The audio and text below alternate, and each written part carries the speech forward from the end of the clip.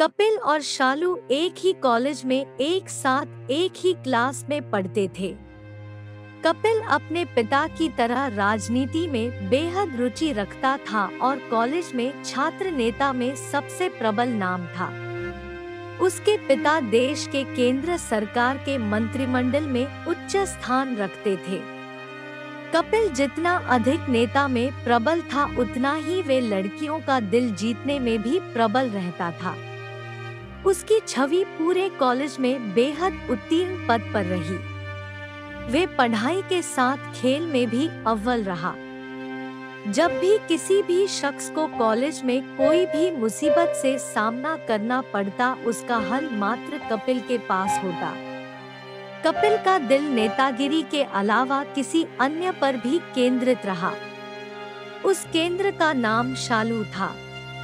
शालू बहुत ही खूबसूरत थी।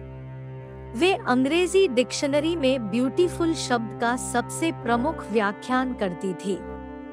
शर्मीले स्वभाव की बोली सी सूरत ओढ़े शालू प्रेम की एक अलग प्रस्तुति पेश करती थी, जो बेहद प्यारी थी।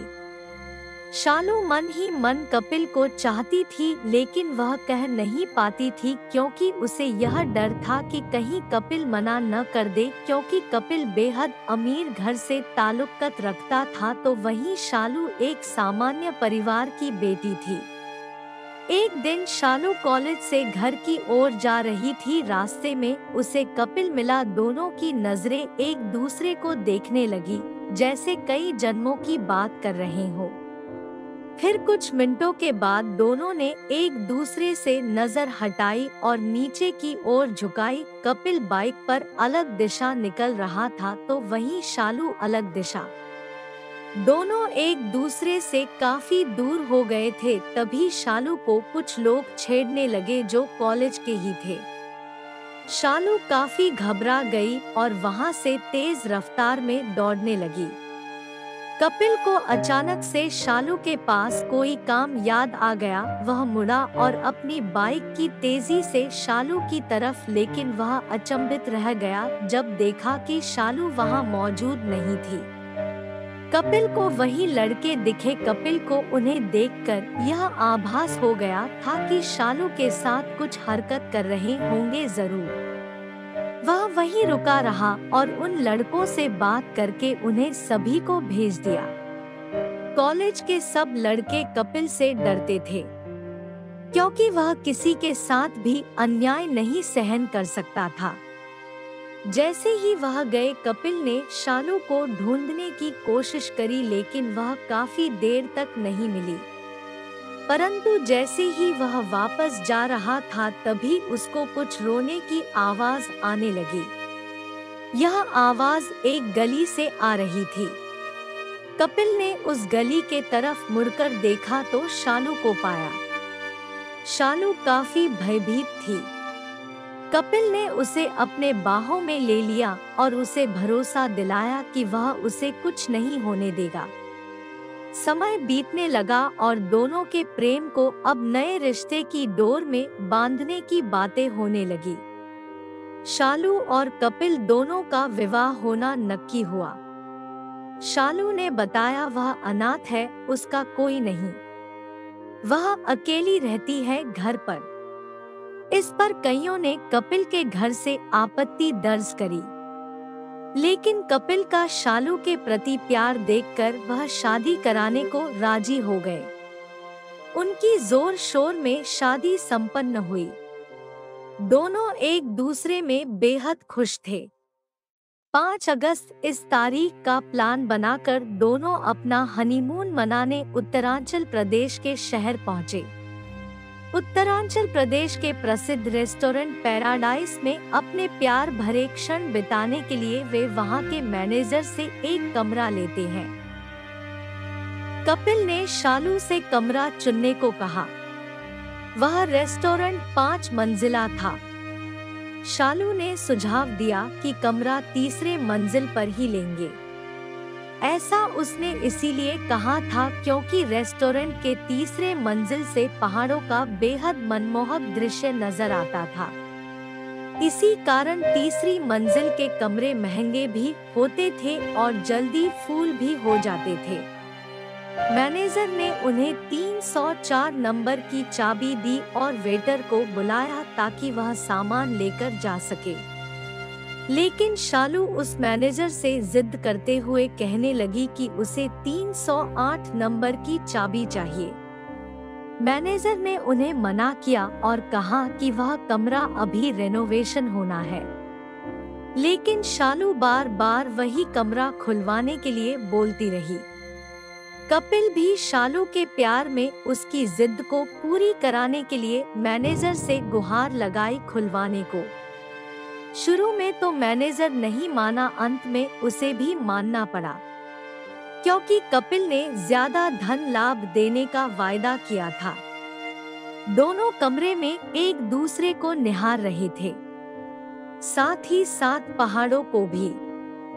जो उत्तरांचल प्रदेश की खूबसूरती को बखूबी दर्शा रहे थे। जैसे ही दोनों एक दूसरे के प्यार में डूब रहे थे और सारी हदें पार करने की ओर बढ़ रहे थे, तभी एक अजीब सी आवाज़ ने दस्तक दी। कपिल ने पहले कमरे के हर एक कोने में देखा कि कहीं कोई खिड़की खुली न रह गई हो। वह उठा लेकिन खिड़की कोई भी नहीं खुली थी पर फिर भी उसे किसी के चलने की आवाज़ पूरे कमरे में सुनाई दे रही थी। वह डर के मारे बेड पर मुड़कर देखने लगा लेकिन वह देखकर अचंभित रह गया। वहाँ शालू मौजूद नहीं थी। वह डर की सीमा को लांग चुका था। पूरे कमरे में वह अब शालू चिल्लाने लगा। कमरे के बाहर जाने की कोशिश करता, लेकिन कमरा मानो किसी ने बाहर से बंद कर दिया हो। यह पहली बार था कि कपिल डर के मारे रोने लगा हो। अचानक से उसे कमरे के बाथरूम से पानी चलने की आवाज़ आती है। वह दौड़ते हुए बाथरूम के तरफ़ पहुँचता है। जैसे ही वह उधर पहुँचता है, पानी की आवाज़ बंद हो जाती है। कपिल जानो कहाँ ढूंढ रहे हो मुझे, आओ मेरे पास। शालू की आवाज़।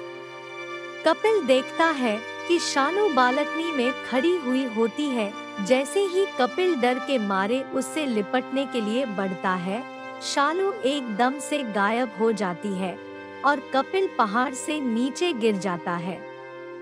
उसकी मौत हो जाती है। अगले दिन उसकी लाश पहाड़ से बरामद होती है। इंस्पेक्टर रणदीप सिंह को तहकीकात करने की ज़िम्मेदारी मिलती है। उस लाश के पोस्टमार्टम रिपोर्ट के मुताबिक कपिल मौत से पहले उसकी धड़कन काफ़ी तेज चल रही होती है। इंस्पेक्टर शालू को ढूँढने की कोशिश करते हैं, लेकिन उन्हें शालू का कहीं नहीं पता चलता। मैनेजर से इंस्पेक्टर सीसीटीवी कैमरे की फुटेज माँगता है, परंतु वह रिकॉर्डिंग देखकर परेशान हो जाता है। सीसीटीवी कैमरे में शालू की कोई फ़ोटो नहीं दिख रही होती। इंस्पेक्टर को यह मैनेजर की चाल लगती है। इंस्पेक्टर कपिल के घर पर उसकी मौत की खबर लेकर पहुँचता है। सभी परिवार वाले आहत हो जाते हैं। इसी वक्त कपिल का भाई इंस्पेक्टर से शालू के बारे में पूछता है। इंस्पेक्टर कहता है कि कमरे में तो हमें कोई नहीं मिला। सब घर वाले कहते हैं कि कपिल और शालू का हाल ही में विवाह हुआ था। इंस्पेक्टर ने उन्हें शालू के परिजनों को फ़ोन करने को कहा। इंस्पेक्टर को फिर पता चला कि शालू का तो कोई है ही नहीं। वह कॉलेज में भी पता करने गया तो पता चला कि कॉलेज में शालू नाम की कोई लड़की ने कभी एडमिशन ही नहीं लिया था। वह वाकई में एक भूत थी।